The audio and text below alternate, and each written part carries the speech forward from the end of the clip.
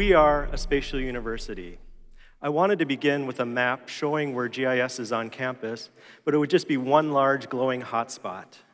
We have labs and departments focusing on GI science, remote sensing, geodesign, and spatial computing. And nearly every discipline uses ArcGIS to enhance the three-pronged mission of higher education, teaching, research, and outreach. We're going to show several examples of how GIS fuels the mission of a spatial university, beginning with our own Enterprise GIS department. It starts with the campus map and all the data needed to manage a city within a city. For example, students were hired to walk the campus and record information about sidewalks using GeoForm. Similar to any city, keeping our sidewalks in good condition keeps the environment safe and contributes to a safe and attractive environment. We can see the condition of each sidewalk panel, which allows facility staff the, the ability to overlay trouble spots with construction schedules and coordinate maintenance. Now let's talk about our students. Each year, 1,000 are enrolled in ArcGIS courses, and more than 6,300 students, faculty, and staff have named user accounts on ArcGIS Online. They use these online resources to enhance their learning and research with maps, data, and spatial analytic tools. They've created over 20,000 items in the last 12 months. We can look at the university's gallery to get an example of some of these projects. There are maps, maps on farming practices, sustainability, mapping the pre-modern world, and much more. One interesting research example is from the Polar Geospatial Center, which maps the most remote locations on Earth. They rapidly process huge amounts of imagery to create digital elevation models and derive products. Later this summer, in collaboration with the Byrd Polar and Climate Research Center, they're releasing a new 8 meter Antarctic DEM that will be available to the public. Our charge at U-Spatial and for hopefully everyone in education is to develop the GIS workforce of tomorrow, to ensure that everyone in the workforce is thinking spatially and to advance the geospatial sciences. Our curriculum reflects all these goals, so let's hear from master student Coleman Shepard to learn more. One thing I'm learning is how to leverage spatial thinking to tackle real world problems. One of my most recent projects focused on the volcano of Kilauea on the big island of Hawaii. It is one of the youngest and most active volcanoes in the Hawaiian island. As so, I wanted to use spatial technologies to further explore the dynamics of the recent lava flows. By accessing Sentinel-2 imagery from the Living Atlas, I was able to understand what was happening across the landscape over time. Starting on May 23rd, and moving forward in time, first to June 2nd, June 7th, June 12th, and finally, June 22nd. We're able to clearly see the lava progress throughout the landscape over time. After investigating the available research, I wanted to dive deeper into the science of the seismic activities that is often associated with volcanic eruptions. Over 22,000 earthquakes have occurred since the start of the eruptions. To put this in perspective, only 2,700 earthquakes occurred in all of last year. From this, I wanted to investigate this activity further to see what was happening on the island. By conducting multivariate clustering using k-means, I was able to cluster the earthquakes based on four dimensions, latitude, longitude, depth, and magnitude, and then discovered that this shows three distinct groups. The caldera, shown in red, the rift zone, shown in blue, and the fissures, where the lava is present, shown in green. By switching to 3D, we're able to gain a better perspective on this data. And again, to reiterate, the caldera is shown in red, the fissures are shown in green, and the rift zone shown in blue. But observing these clusters over time, we're able to clearly see that the cluster of earthquakes near the caldera are continuing to increase. This is sparked by magma withdrawing from the caldera, which has led to the instability of the immediate region. Jupyter Notebooks and Python are essential tools at our program at the university, and these tools are perfect to explore this phenomenon further. By extracting publicly available data on geodetic stations, I was able to measure the displacement of land over time. I found one station in particular that stood out, NPIT, which sits at the rim of the volcano this station had dropped over 20 meters in, in elevation. This is huge, and it is representative of the eventual collapse of the crater of Kilauea. Central to our training at the university is sharing and collaboration. And this motivated me to create this beautiful map to communicate the dramatic story of the volcano of Kilauea. And next, my classmate is going to share his research.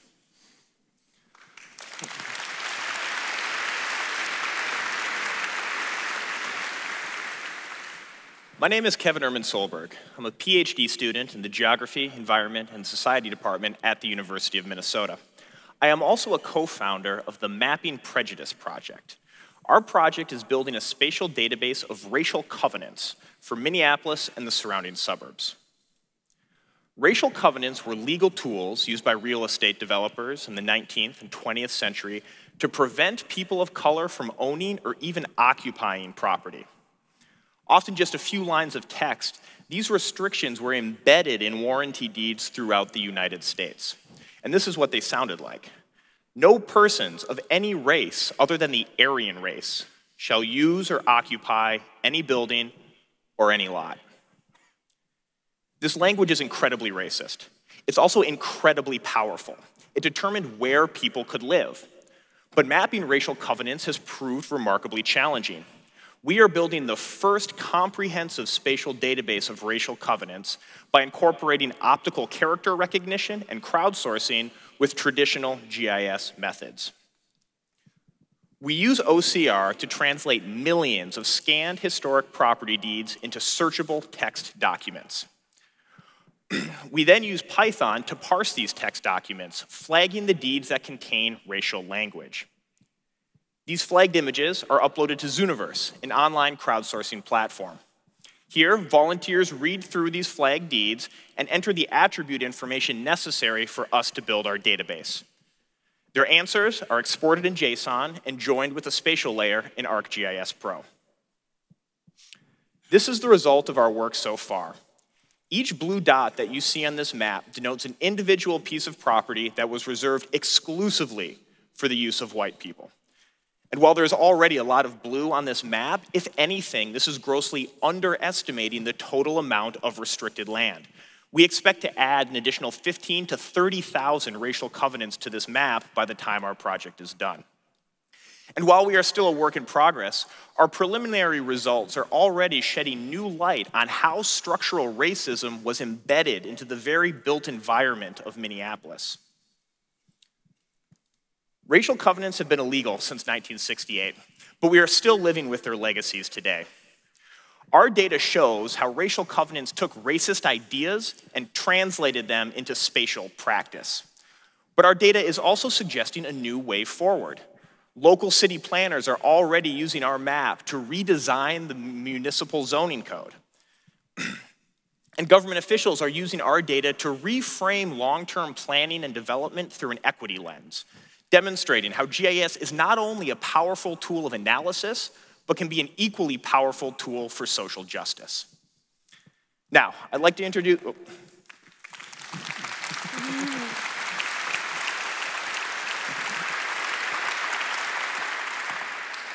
Now, I'd like to introduce Dr. Somayeh Dodge, one of the faculty members at the U's Geography Department.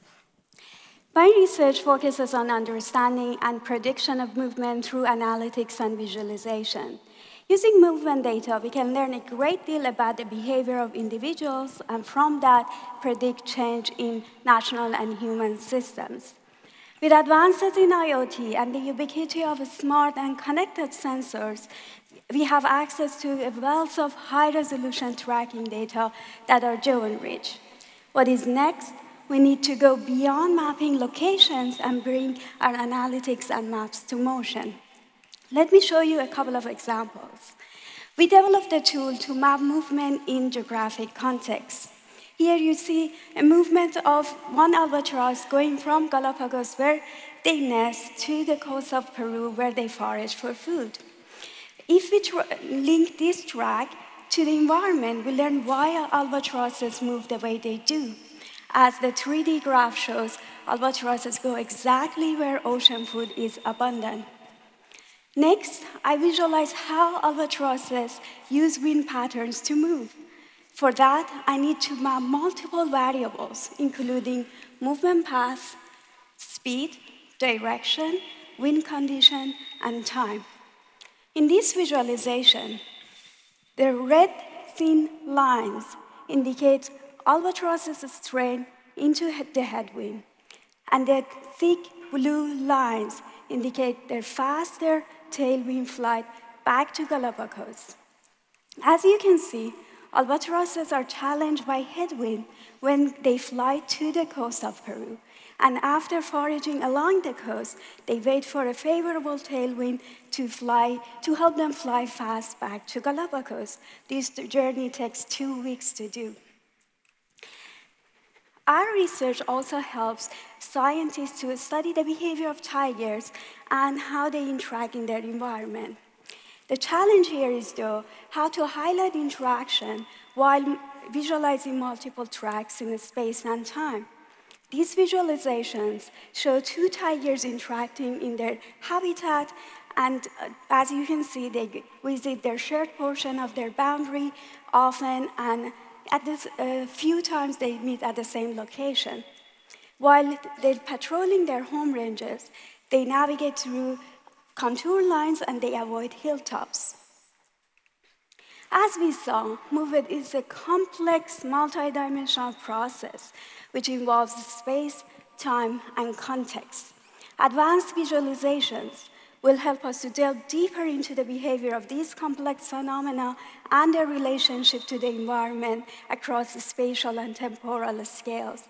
And with that, I would like to turn over to my colleague, Professor Tom Fisher, the director of Minnesota Des Design Center.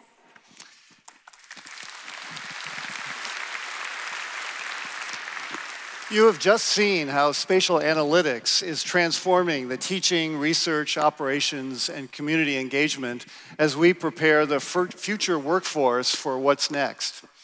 I would like you to imagine with me in the next couple of minutes what that next looks like based on geodesign work that colleagues and I are doing. We lived as a species on this planet for over 90% of our time here, we lived nomadically. And only in the last 5% of our history have we lived in permanent settlements with fixed structures and infrastructure that we can map.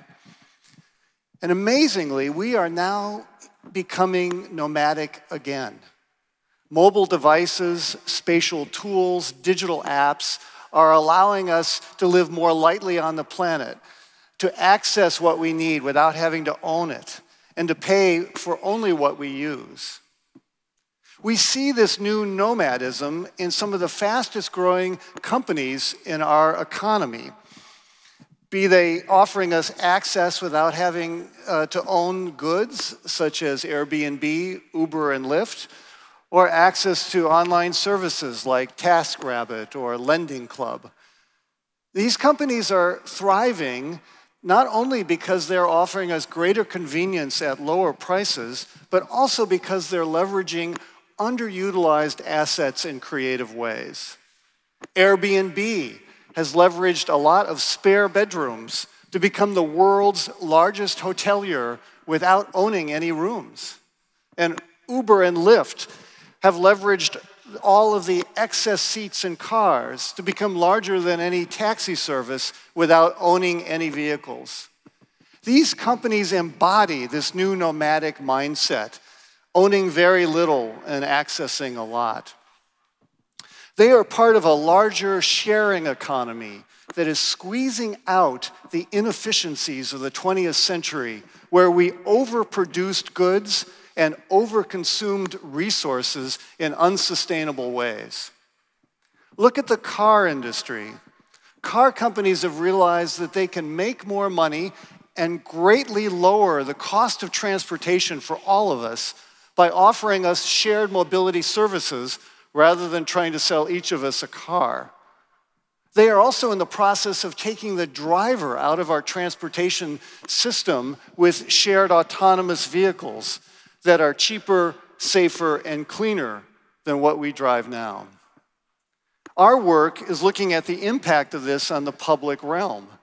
Shared autonomous vehicles will transform our streets, allowing us to narrow roadways, widen sidewalks, and provide space for green infrastructure.